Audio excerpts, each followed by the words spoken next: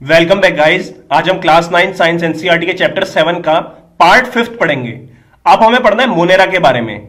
These organism do not have defined nucleus और organelles Monera के अंदर जितने भी ऑर्गेनिज्म आते हैं, उनमें ना तो डिफाइंड न्यूक्लियस पाया जाता है और ना ही डिफाइंड ऑर्गेनल्स पाया जाता है।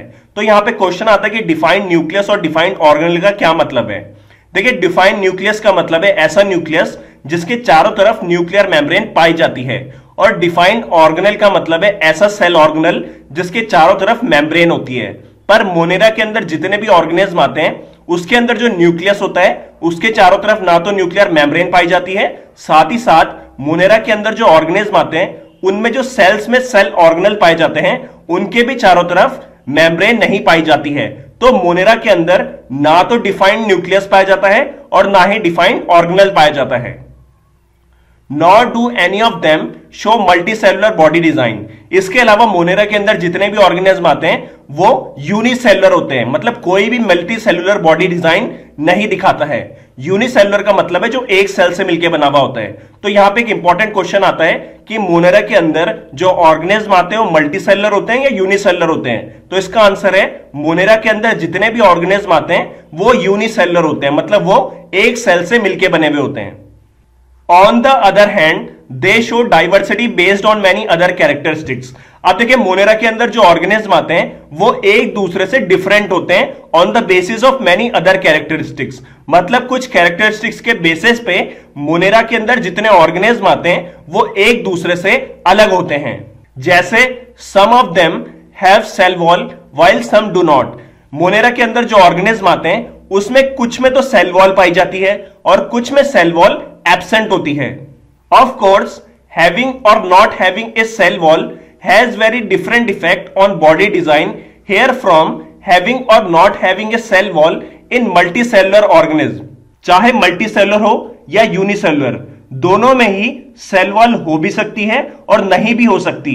जैसे प्लांट और एनिमल्स दोनों मल्टी सेलुलर हैं, पर प्लांट में सेल वॉल होती है बट एनिमल में सेल वॉल नहीं होती है। तो सेल वॉल होने या ना होने से यूनिसेलर और मल्टी सेलर ऑर्गेनिज की बॉडी डिज़ाइन में काफ़ी डिफरेंट इफ़ेक्ट आता है।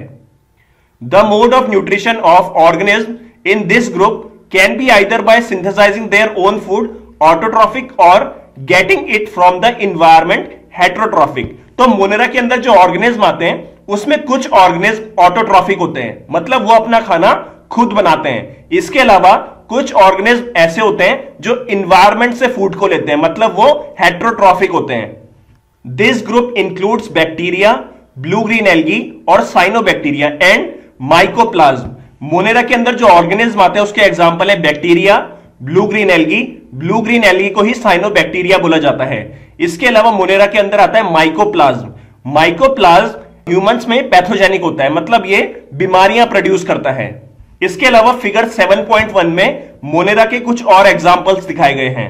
देखिए, जैसे इसमें बैक्टीरिया को दिखाया गया है। बैक्टीरिया का जो ये वाला पार्ट होता है, इसे बोला जाता है फ्लैजेला इसके अलावा जो ये वाला पार्ट होता है, इसे बोला जाता है पिली। ये रिप्रोडक्शन के काम आती है।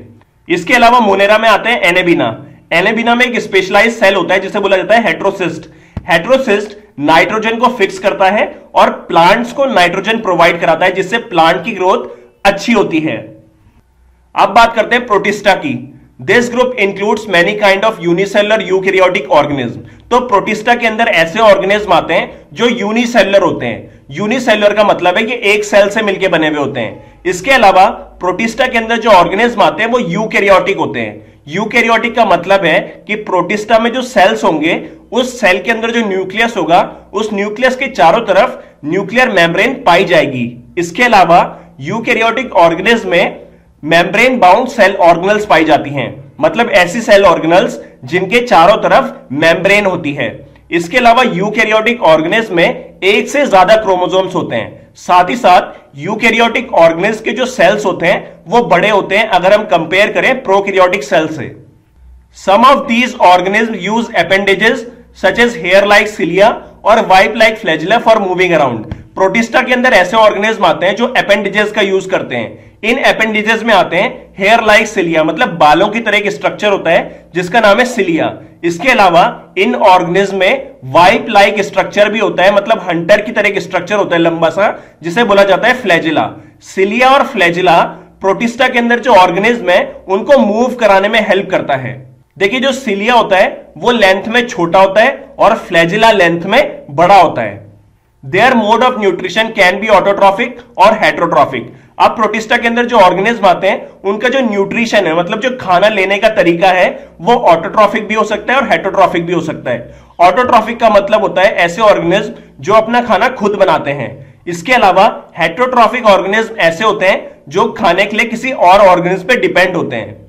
Examples are unicellular algae diatoms and protozoan Protista की जो एग्ज़ाम्पल है, वो है यूनिसेलुलर एल्गी मतलब सिंगल सेल वाला एल्गी इसके अलावा डायटम्स और प्रोटोजोआन्स ये कुछ एग्ज़ाम्पल है प्रोटिस्टा के।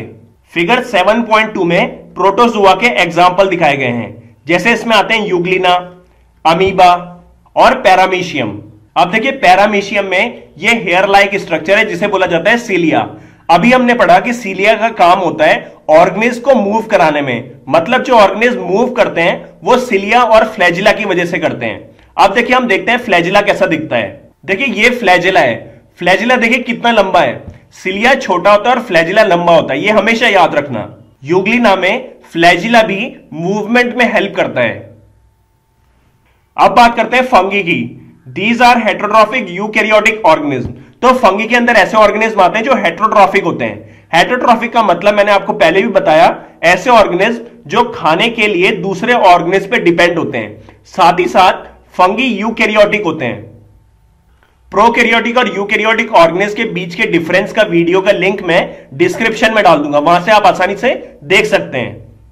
They use decaying organic material as food and are therefore called saprophytes तो यहाँ पे बहुत ही इंपॉर्टेंट क्वेश्चन आता है कि सेप्रोफाइट्स क्या होते हैं। सेप्रोफाइट्स ऐसे ऑर्गेनिज्म होते हैं जो डेड और डिकेइंग ऑर्गेनिक मटेरियल को एज अ फ़ूड लेते हैं। डिकेइंग का मतलब जो सड़ने वाला ऑर्गेनिक मटेरियल होता है, उसको जो ऑर्गेनिज खाने की तरह लेते हैं तो ऐसे ऑर्गेनिज को बोला जाता है सेप्रोफाइट्स और इसका एग्ज़ाम्पल है fungi many of them have the capacity to become multicellular organism at certain stages in their life तो फंगी के अंदर ऐसी कैपेसिटी होती है कि वो अपनी लाइफ की कुछ स्टेजेस में मल्टीसेलर ऑर्गेनिज्म में कन्वर्ट हो जाता है। They have cell walls made of a tough complex sugar called chitin fungi में सेल वॉल पाई जाती है जो काइटीन की बनी हुई होती है। काइटीन एक टफ कॉम्प्लेक्स शुगर होता है। तो यहाँ पे क्वेश्चन आता है कि कॉम्प्लेक्स शुगर क्या होती है? कॉम्प्लेक्स शुगर को पॉलीसेक्राइड भी बोला जाता है। ये कई शुगर से मिलकर बनी होती है।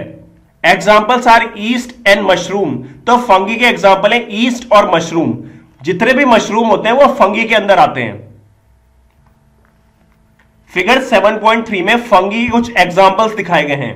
जैसे एक एग्ज़ाम्पल है एस्परगिलस देखिए एस्परगिलस के ऊपर जो ये छोटे छोटे गोल गोल स्ट्रक्चर है, इन्हें बोला जाता है कोनीडिया इसी तरीके से पेनिसिलियम के ऊपर भी ये गोल गोल से स्ट्रक्चर्स हैं, इसे भी कोनीडिया बोला जाता है।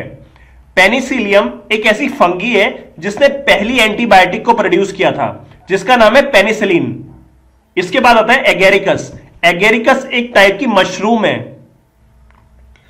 Some fungal species live in permanent mutually dependent relationship with blue green algae और साइनोबैक्टीरिया देखिए कुछ फंगल स्पीसीज ऐसी होती है जो परमानेंटली म्यूचुअली डिपेंडेंट रिलेशनशिप में रहती है ब्लू ग्रीन एल्गी और साइनोबैक्टीरिया के साथ। तो ऐसे रिलेशनशिप को बोला जाता है सिम्बायोटिक रिलेशनशिप अब यहाँ पे क्वेश्चन आता है कि सिम्बायोटिक रिलेशनशिप का क्या मतलब है।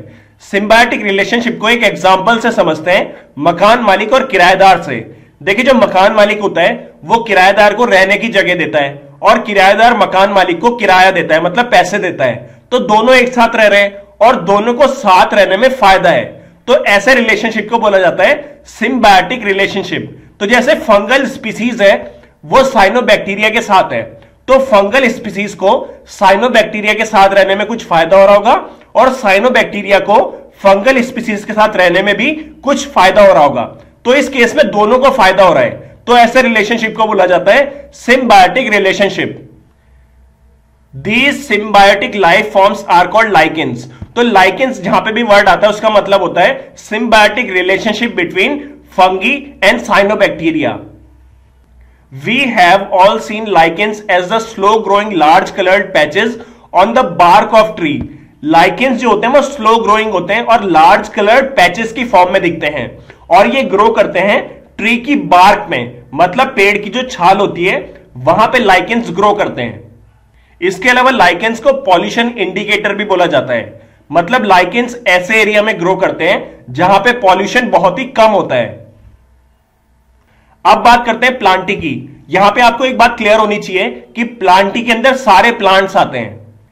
These are multi cellular eukaryotes with cell wall तो जितने भी प्लांट्स होते हैं, वो मल्टी सेलर होते हैं। मतलब बहुत सारे सेल से मिलकर बने हुए होते हैं और यूकेरियोटिक होते हैं। साथ ही साथ प्लांट का जो सेल होता है, उसमें सेल वॉल पाई जाती है और ये सेल वॉल बनी होती है सेलुलोज की। They are autotrophs and use chlorophyll for photosynthesis तो जितने भी प्लांट्स होते हैं, वो ऑटोट्रॉफिक होते हैं। मतलब वो अपना खाना खुद बनाते हैं। अब प्लांट्स अपने खाने को बनाने के लिए क्लोरोफिल का यूज़ करते हैं। क्लोरोफिल ग्रीन कलर का एक पिगमेंट होता है, जो प्लांट के पत्तों में पाया जाता है। और जिस प्रोसेस से प्लांट खाना बनाता है, उस प्रोसेस को बोला जाता है फोटोसिंथेसिस फोटोसिंथेसिस दो वर्ड से मिलकर बना है फ़ोटो और सिंथेसिस फ़ोटो का मतलब होता है लाइट और सिंथेसिस का मतलब होता है बनाना तो प्लांट्स अपने खाने को बनाते हैं फोटोसिंथेसिस की मदद से। और प्लांट्स का जो खाना होता है, वो ग्लूकोज की फॉर्म में बनता है। Thus all plants are included in this group तो जैसे मैंने आपको पहले बताया प्लांटी के अंदर सारे प्लांट्स आते हैं। Since plants and animals are more visible form of diversity of life around us we will look at the sub groups in this category later अब देखिए, अगर हम अपने आसपास देखें तो हमें जो डाइवर्सिटी दिखेगी लाइफ में, वो सिर्फ़ प्लांट्स और एनिमल्स में दिखाई देगी। क्योंकि जो माइक्रो ऑर्गेनिज्म होते हैं, वो बहुत छोटे होते हैं और उनको हम नेकेड आई से नहीं देख सकते। प्लांट्स और एनिमल्स के अंदर सब कैटेगरीज बनाई जाती है ताकि प्लांट्स को हम एक्स्ट्रा स्टडी कर सके मतलब और स्टडी कर सकें। अब बात करते हैं एनिमेलिया की। एनिमेलिया के अंदर सारे एनिमल्स आते हैं including human being these includes all organism which are multicellular eukaryotes without cell wall तो एनिमेलिया के अंदर ऐसे ऑर्गेनिज्म आते हैं जो मल्टीसेलर होते हैं। मतलब खूब सारे सेल से मिलकर बने हुए होते हैं। साथ ही साथ ये यूकेरियोटिक होते हैं। इसके अलावा एनिमेलिया के अंदर जो ऑर्गेनिज्म आते हैं, उनमें जो सेल पाया जाता है, उसके चारों तरफ़ सेल वॉल एबसेंट होती है। मतलब एनिमेलिया में जो ऑर्गेनिज्म होते हैं, उनके सेल में सेल वॉल नहीं पाई जाती। दे आर हेटोट्रॉप्स एनिमेलिया के अंदर जितने भी ऑर्गेनिज्म आते हैं, वो हेटोट्रॉफिक होते हैं। मतलब वो अपने खाने के लिए दूसरे ऑर्गेनिज्म पे डिपेंड रहते हैं। प्लांट्स की तरह एनिमेलिया में भी हम सब ग्रुप बनाते हैं, फिर उसको आगे स्टडी करते हैं। फिगर 7.4 में फाइव किंगडम क्लासिफिकेशन को दिखाया गया है। मतलब जितने भी लिविंग ऑर्गेनिज्म है, वो पाँच किंगडम में डिवाइडेड हैं। सबसे पहले सारे लिविंग ऑर्गेनिज्म को प्रोकेरियोट्स और यूकेरियोट्स में डिवाइड कर दिया जाता है। जो प्रोकेरियोट्स होते हैं, उन्हें बोला जाता है मोनेरा तो मोनेरा ही एक ऐसा किंगडम है जो प्रोकेरियोटिक होता है। इसके अलावा जितने भी किंगडम है, वो सारे यूकेरियोटिक होते हैं। अब यूकेरियोट्स को डिवाइड कर दिया जाता है यूनिसेलर और मल्टीसेलर यूकेरियोट्स में। जो यूनिसेलर यूकेरियोट्स होते हैं, उन्हें बोला जाता है प्रोटिस्टा अब मल्टीसेलर यूकेरियोट्स को डिवाइड कर दिया जाता है ऑन द बेसिस ऑफ़ जिसमें सेल वॉल होती है और जिसमें सेल वॉल नहीं होती है। तो मल्टीसेलर यूकेरियोट्स जिनमें सेल वॉल होती है, उनको फर्दर डिवाइड कर दिया जाता है ऑन द बेसिस ऑफ़ कि वो फोटोसिंथेसिस नहीं कर सकते या वो फोटोसिंथेसिस कर सकते हैं।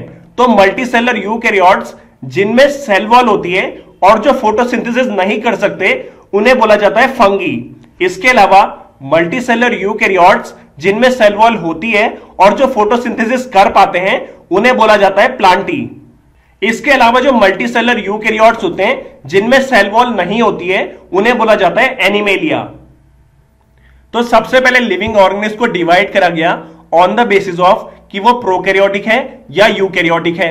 दूसरा जो बेसिस है डिवाइड करने का, वो है कि कोई यूनिसेलर है या कोई मल्टीसेलर है।